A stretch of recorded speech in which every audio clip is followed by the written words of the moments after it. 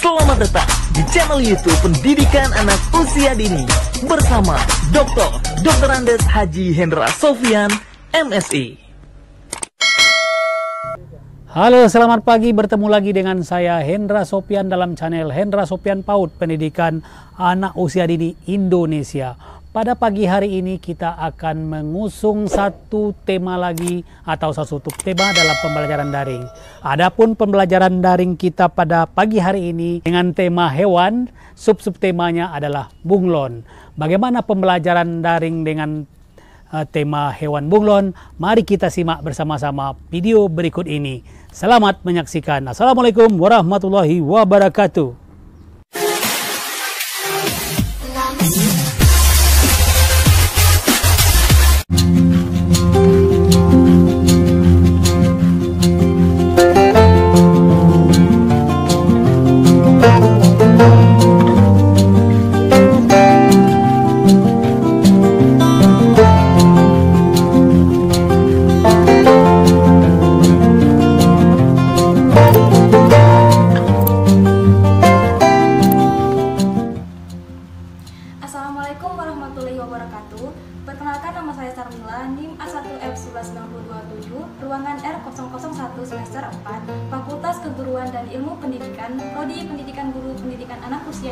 Di Universitas Jambi.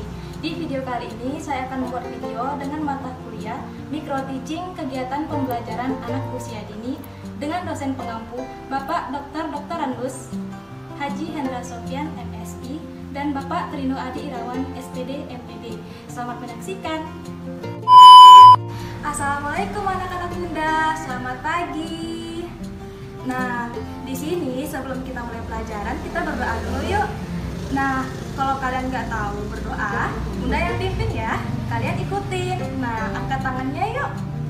Bismillahirrohmanirrohim Rabbi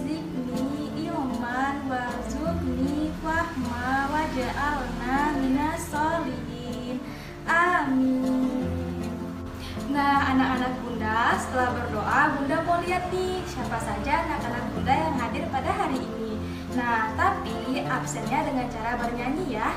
Nah, kalau namanya Bunda sebut, angkat tangan ya. Satu, dua, tiga. Satu, satu, di sini ada Sari. Dua, dua, di sini ada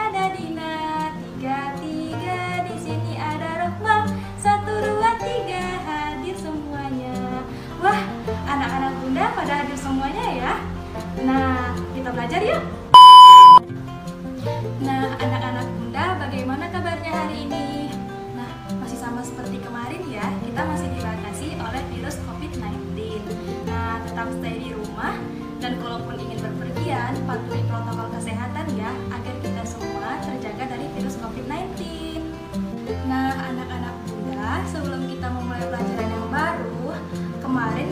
membahas tentang apa ya?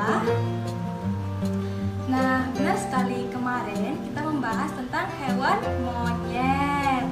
Nah, Bunda mau tanya nih siapa yang bisa jawab angkat tangan ya. Kemarin Bunda bilang hewan monyet warnanya apa ya? Iya, Dina benar sekali kemarin Bunda bilang hewan monyet warnanya coklat, hitam dan putih. Nah, pertanyaan selanjutnya, monyet makannya apa ya? Iya, pisang monyet makannya pisang pintar anak-anak bunda ya. Nah pertanyaan bunda yang terakhir um, monyet itu tinggalnya di mana ya? Iya benar tuh. Monyet tinggalnya di pohon di hutan. Pintar. Nah anak-anak bunda Bunda, hari ini kita masuk ke pelajaran yang baru ya Tetapi masih berhubungan dengan hewan yang ada di hutan Nah, sekarang Bunda mau tanya nih Ada yang tahu nggak yang Bunda pegang ini gambar apa ya? Kelihatan nggak? Nah, ya tebak gambar apa ini? Wah, kok buaya? Nah, ini itu bunglon ya, anak-anak bunda. Dia sama seperti monyet, tinggalnya di hutan, di pohon juga. Anak-anak bunda, bunglon ini hampir sama seperti hewan kadal. Nah, jenisnya bunglon sendiri itu ada bunglon karpet, bunglon yaman, bunglon graceful dan ada banyak lagi yang lainnya. Nah, nanti kalau ada materi atau waktu lebih kita sambung lagi jenis-jenisnya apa aja, kita pelajari lagi. Oke anak-anak bunda? Nah, bunda mau tanya lagi nih, ada yang bisa jawab nggak? Nah, bunglon warnanya apa aja ya? Nah, bunglon itu warnanya ada coklat, ada hijau, ada biru, ada warnanya yang campur kuning dan hijau. Tetapi bunglon itu memiliki keistimewaan bisa merubah warna kulitnya sesuai tempat dia hinggap dan berlindung. Bisa juga disebut sebagai mimikri. Oke anak-anak bunda itu adalah contoh warna-warna dari bunglon. Bunda mau tanya nih pertanyaan bunda yang terakhir. Ada yang tahu nggak makanan bunglon itu apa ya? Nah, benar sekali Dina, makanan bunglon itu jangkrik. Tetapi selain makan jangkrik, bunglon juga makannya lalat, belalang. Pokoknya serangga-serangga yang kecil itu itu bisa dimakan oleh bunglon. Nah, anak-anak bunda, ada yang mau main gak nih sama bunda? Kita main yuk. Tetapi sebelum kita main, bunda bagi kelompok dulu ya. Itu ada yang mengerjakan area bahasa, ada yang mengerjakan seni, ada yang mengerjakan matematika dan IPA. Nah, nanti eh, Bunda udah menyiapkan alat-alat atau bahan-bahan yang harus kalian kerjakan nanti. Ini ya, anak-anak Bunda, itu ada empat lembar kerja. Anak-anak Bunda, yang pertama kita mengerjakan yaitu area bahasa. Nah, di sini mengenal warna-warna bunglon.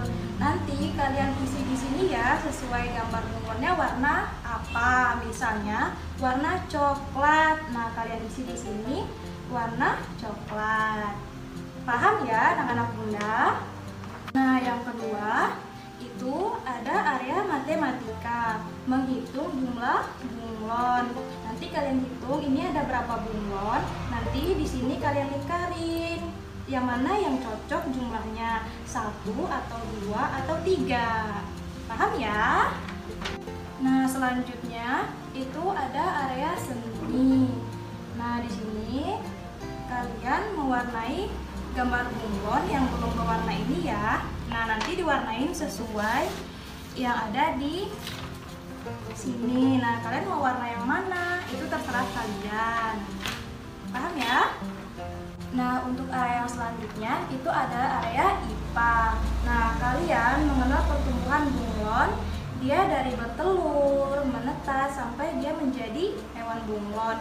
Nanti tugasnya kalian menulis kembali, misalnya bunglon bertelur. Nah, nanti kalian bisa tulis di kertas yang lain atau bisa di sini ya.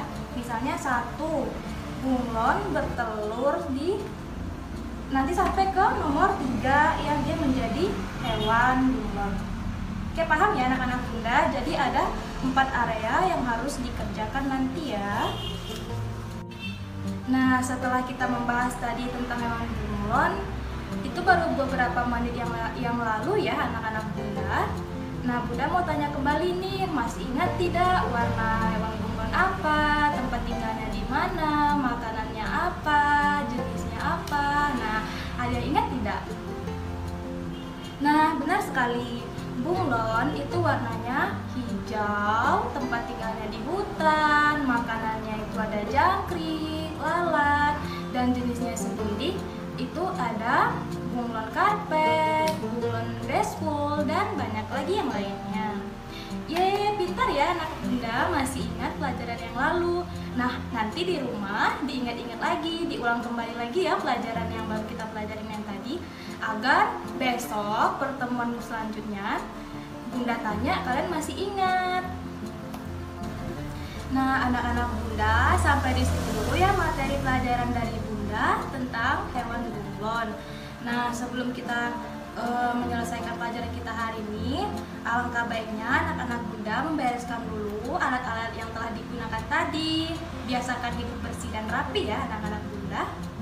Oh iya, sebelum kita pulang, nyanyi dulu yuk. Nah, kalau misalnya ada yang belum hafal sama lagunya, ikutin Bunda ya.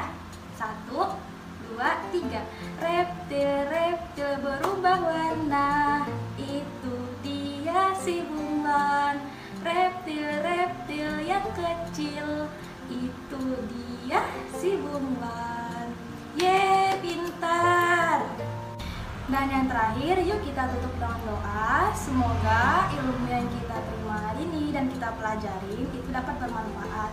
Yuk angkat kedua tangan anak-anak bunda yuk. Nah, bunda pimpin doanya ya. Satu, dua, tiga. Bismillahirrohmanirrohim. Tolabul ilmi faridatun ala kulli muslimin. Amin. Baiklah anak-anak bunda, sampai di situ itulah materi yang dapat bunda sampaikan hari ini. Sampai ketemu di materi selanjutnya ya. Dadah. Assalamualaikum warahmatullahi wabarakatuh. Baiklah teman-teman, sekian video pembelajaran dari saya tentang tema hewan bunglon. Lebih dan kurangnya saya mohon maaf. Assalamualaikum warahmatullahi wabarakatuh. Sampai ketemu di video selanjutnya. See you.